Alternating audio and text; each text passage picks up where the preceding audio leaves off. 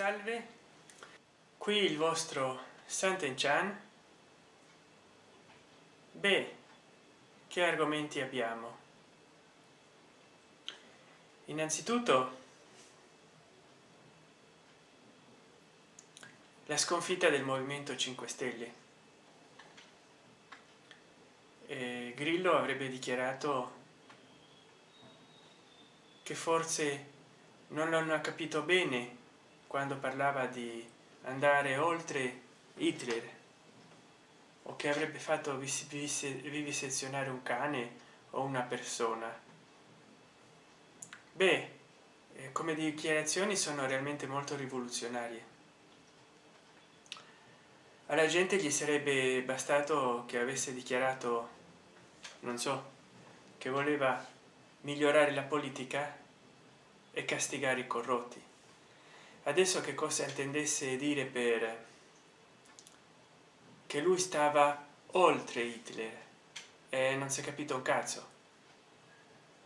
Forse eh, non lo so.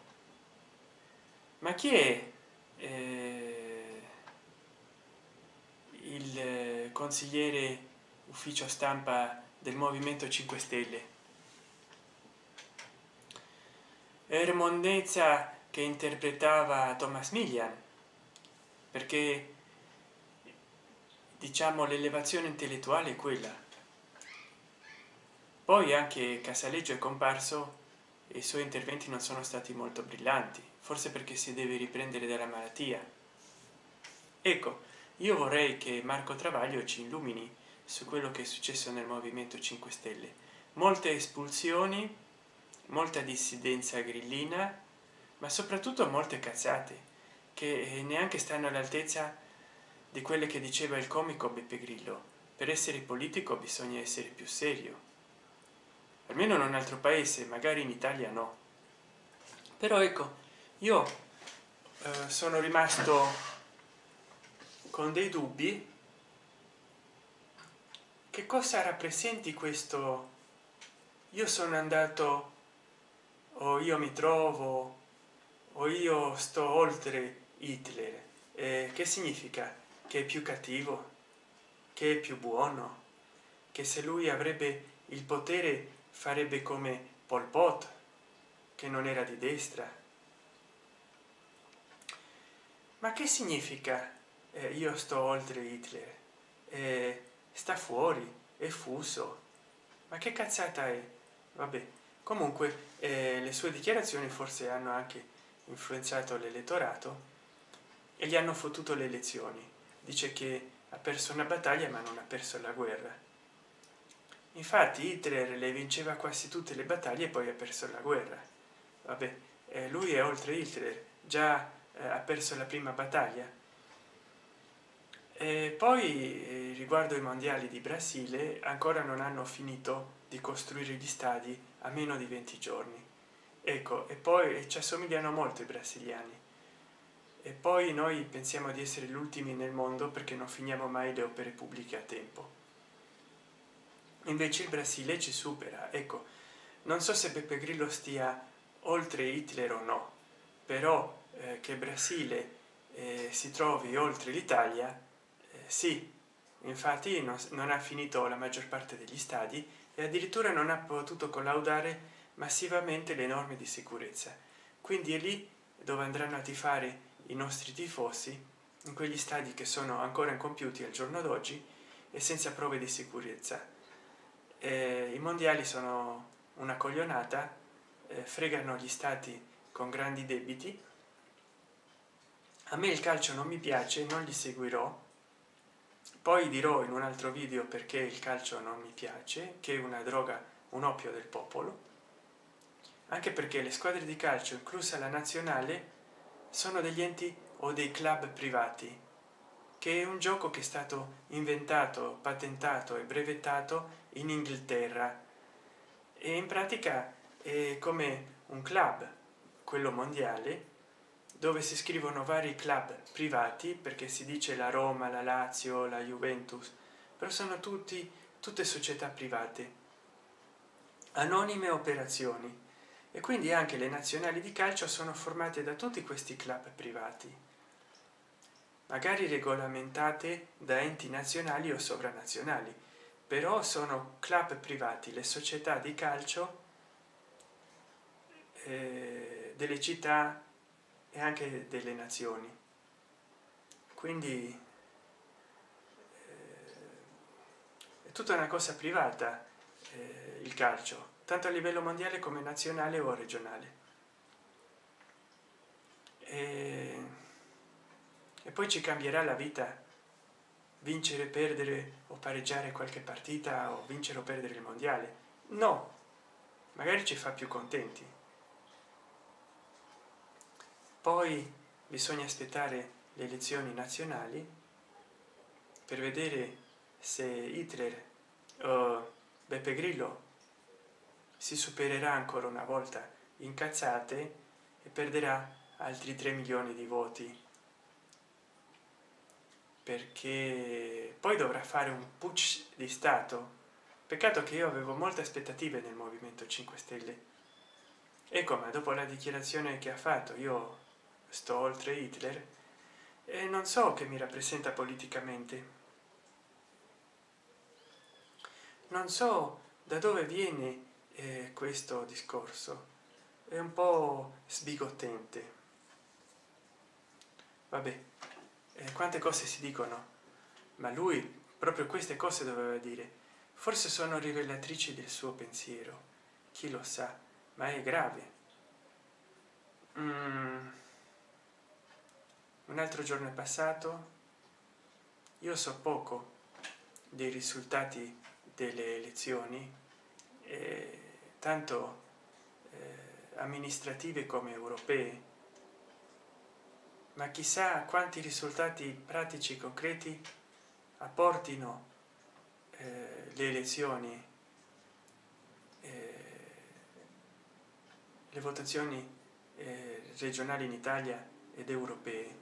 E quanti no? Che cambierà nella nostra vita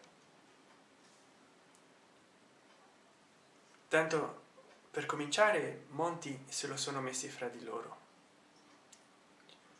Eh, napolitano è frutto di un inciuccio. L'eta perché monti se ne è dovuto uscire non faceva niente. E adesso eh, matteo renzi eh, è stato uno scavalcamento di bersani che sebbene abbia vinto non riusciva a governare forse con queste amministrative si spera di cementare un equilibrio politico per poi andare alle elezioni. Di fatto il pd ha vinto bene. Ha vinto con un 40 per cento dei voti che perlomeno regala al paese un po di stabilità. Adesso bisogna vedere in fatto di governabilità se sanno governare e sanno fare le cose importanti. Ma intanto qualche cosa eh, è uscita fuori dal cilindro magico di queste elezioni o dall'urna magica di queste elezioni poi ecco eh, sto cercando informazioni riguardo una persona che a miami ha cannibalizzato un'altra mangiandogli sfigurandolo parti del viso. È incredibile a cosa conducono le droghe. E, ma poi soprattutto questa moda degli zombie. È una moda un po' strana farlocca. E quindi qui lancio il mio appello. Innanzitutto a marco travaglio di spiegarmi che cosa sta succedendo nel movimento 5 stelle e in che senso eh, beppe grillo ha superato hitler. O pol pot stalin. Come? Non era lui che diceva che silvio berlusconi era hitler era stalin era mussolini. Adesso lui è più di silvio berlusconi. Si vede che da quando ha visto che renzi ha avuto successo eh, bypassando berlusconi a destra e lui vuole essere più di renzi e più di berlusconi messi insieme. Allora vuole essere più di hitler. E poi a pietro traversi ciao e spiegami un po che cos'è questa moda degli zombie? Che archetipo occulta dietro? Quale dominante oscuro? E perché oggigiorno i drogati eh, quando stanno fuori si sentono più degli zombie che non un'altra cosa? Poi vabbè continuerò a fare dei video in youtube. Volevo fare dei commenti a dei libri. In particolar modo eh, il nino eh, no, eh, il libro di sani gesualdi di nino frassica però ecco quello non lo leggerò perché eh, cioè non è la stessa cosa che sentir parlare Nino Frassica. E siccome la peculiarità di quel libro sono gli strafalcioni grammaticali eh, è una lettura molto larga da leggere a voce alta. Eh, poi a volte ecco quando tu lo leggi è divertente ma quando lo leggi a voce alta a qualcun altro magari non sai rendere quello che ti diverte di più. Anzi ti chiedi ma che lo leggo a fare a voce alta? Sono delle cose che se c'hai ispirazione per leggerlo ti divertono. Però no eh, ecco non leggerò il libro di sani gesualdi di nino frassica perché è meglio ascoltarlo cercandolo in internet a nino frassica perché non, non rende l'idea eh, leggendolo a voce alta non, perlomeno io non, non so interpretarlo. Poi ho tanti libri da, da commentare soprattutto adesso sto leggendo di Elemire Zolla archetipi uscite dal mondo lo stupore infantile. Eh, però devo fare una sintesi eh, se no ci metto troppo tempo a, a leggerli. Poi che altro vorrei dire che da molti giorni che non faccio un video mi dispiace e saluto tutti quelli che mi seguono. Adesso qua sta diventando notte sono le 18 meno 10 là devono essere le 22 meno 10 beh eh, c'è stato di rilievo la visita del papa a gerusalemme eh, soprattutto che si sia fermato non solo davanti al muro del pianto come è duopo per ogni capo di stato ma addirittura abbia toccato con la fronte il muro che separa eh, i palestinesi e gli israeliani che è stata la cosa più importante di tutto il viaggio. Speriamo che lui possa riuscire a portare pace fra quei due popoli martoriati da uno stesso conflitto. E che se sarebbe veramente la cosa più importante per tutti in questo mondo avere un po di pace. E io di fronte alla sofferenza della gente non importa se palestinese o ebrea eh, soffro molto. E poi che altro posso dire? Mm.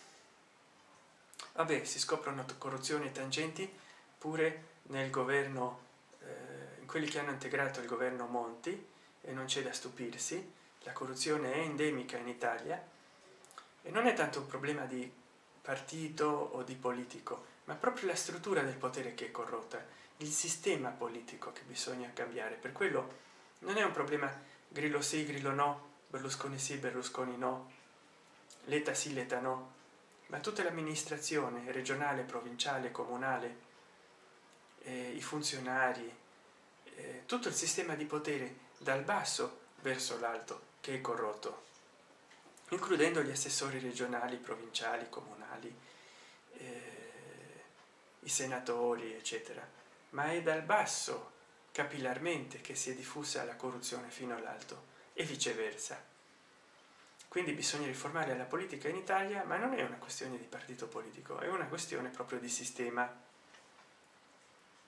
Beh eh, con questo eh, vi saluto e quindi spero di fare un video al più presto. Oggi non ho potuto perché ho avuto dei problemi e quindi mi filmo adesso ma eh, potendo eh, mi filmo anche eh, domani dopodomani chi lo sa. Questo è stato un chat che una chiacchiera. Eh, beh vi lascio. Eh, spero che questo vi divierta e se vi diverte per favore votate mi piace e mettetelo fra i vostri video preferiti. Poi se potrete fare clic nei banner pubblicitari vi ringrazierei moltissimo